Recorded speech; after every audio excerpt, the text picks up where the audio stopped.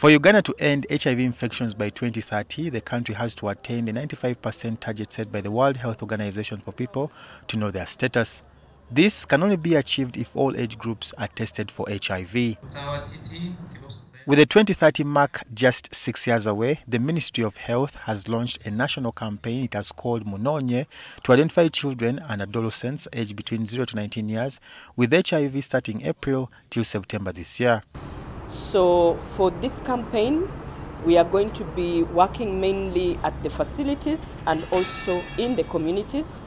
At the facilities, we are going to engage our healthcare providers uh, to line list uh, children of clients who are already living with HIV who attend our clinics, but for one reason or another, their children are not yet uh, tested, and so we do not know their HIV status. Apart from identifying children and adolescents with HIV, it will also start them on treatment.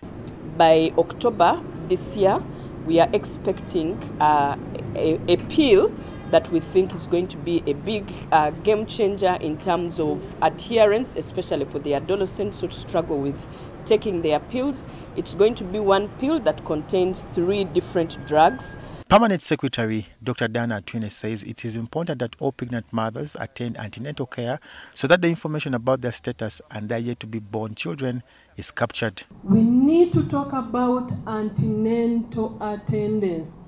And once our mothers attend antenatal care, we are 100% sure that they will be tested and those that are positive will be taken care of so that we have normal babies.